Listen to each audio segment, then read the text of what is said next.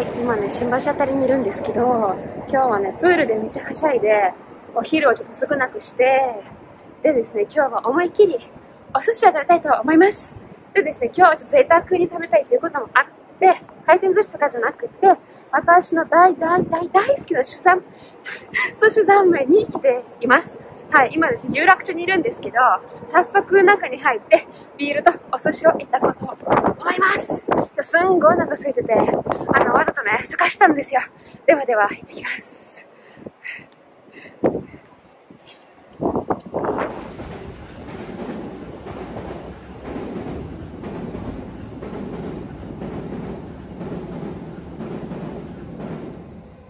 はい、やってきました。回転寿司じゃない時は、だいたい私がいつも寿司三昧に行っています。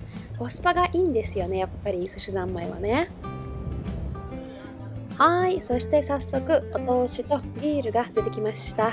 今日はね、プールではしゃいで疲れたので、ビールは飲みたいですね。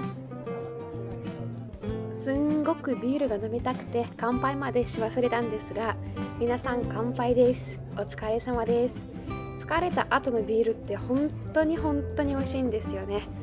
前も言ったんですけどお疲れ様の味がしますよね。今日はですね本当にすごくお寿司が食べたくてお昼からご飯はちょっと控えめにして本当にですね頑張ってお腹を空かしてきましたのですんごくお腹空いています。といっても山にいる時ほどではありませんが本当に空いていますのでお通しもすぐに食べちゃいます。あれはつめれだったのかな？なんかつめれっぽかったんですが何なんでしょうね？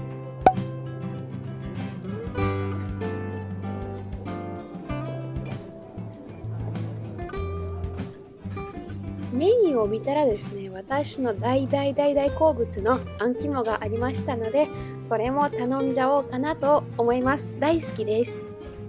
そしてお寿司の方なんですがこのセットを見るとですね悩むんですが今日悩んだ結果一番下のこちらの心意気っていうセットにすることにしました。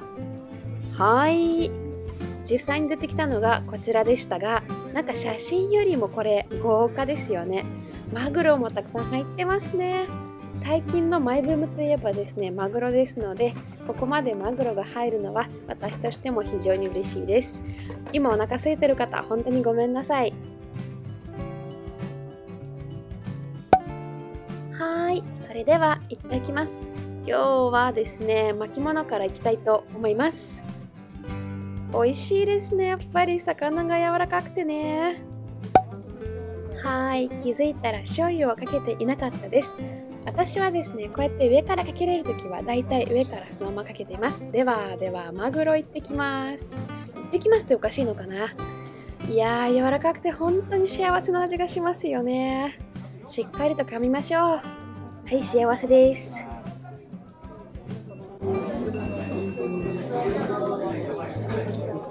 あ、あ、ありがとうございます。アンキモだ。ありがとうございます。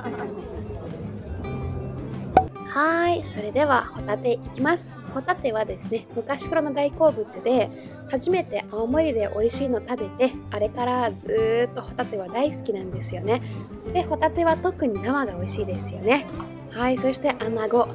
アナゴは結構久しぶりの気がしますね。美味しいですね。はい次はビントロいきますこれビントロですよね。ビントロも結構昔からの大好物で最近はなぜか食べる機会があんまりなかったんですけどビントロってなんか柔らかくて結構好きです。はいそしてガリも好きです。ちょっと口直しに使いましょう。はい次はイクラです。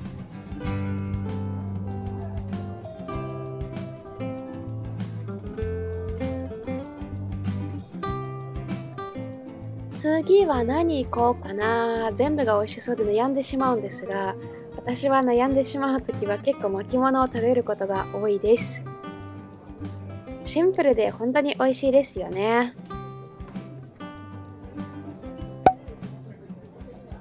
お味噌汁を飲もうと思ったんですけど蓋ってそう簡単に開かないもんなんですよね。お味噌汁がすごいあったかいのが画面越しでも伝わりますよね。いやー本当に寒くなったのでこの季節にはいいですよね。そしてはい。あん肝こんな感じなんですけどあん肝本当に大好きです。で季節限定ですよね。ちなみに今日のお味噌汁はこんな感じです。はいそれでは今年初のあん肝をいったこうと思います。あん肝って日本人でも好み分かれるとよく聞くんですけど皆さんどうですか？あん肝好きですか？私は本当に大好きで食べた時からずっと好きで毎年結構楽しみにしています。季節が来るのをね。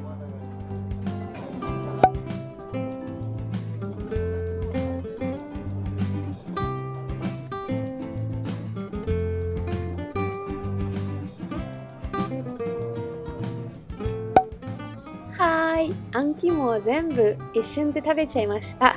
ちょっとビールを飲みます。ビールも進みますね。はい。次に食べるものの名前を忘れてしまいました。これねググろうともわからないので皆さんこれって何でしたっけ？美味しいんですけど何でしたっけ？はい。次はタコ行こうかなと思います。コは最近まではそんなに好きじゃなかったんですけど最近はねなぜかタコも結構好きになりました。シソが乗っかるとさらに美味しいんですもんね。今すごく幸せです。はーい。ついにですね最後の一つになりました。これはトロなのかな？ちょっとわさびを多めにつけようかなと思います。ではでは最後の1個いただきます。はいガブッといっちゃいました。美味しいですね。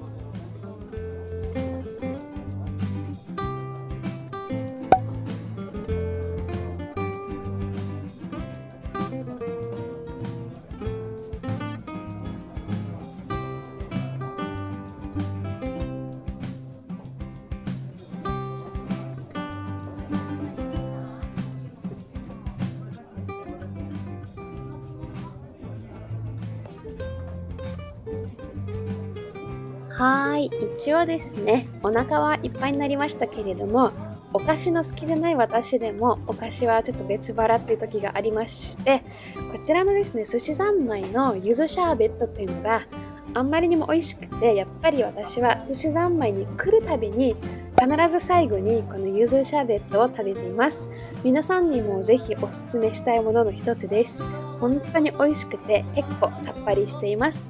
そして最後にお茶をいただくとさらにさらに幸せになりますよね。心も温まります。はいごちそうさまでした。幸せです。はい今日は本当にお昼とかを控えめにしてよかった。今すごい満たされています。都内もですねまあ、こういう時はですね、あ、やっぱり都内も悪くないねって思います。そして、はい、今日の動画はここまでになります。最後まで見てくださって本当にありがとうございました。ぜひチャンネル登録といいねボタンお願いします。また次のお寿司屋さんでもお会いしましょう。では、バイバーイ。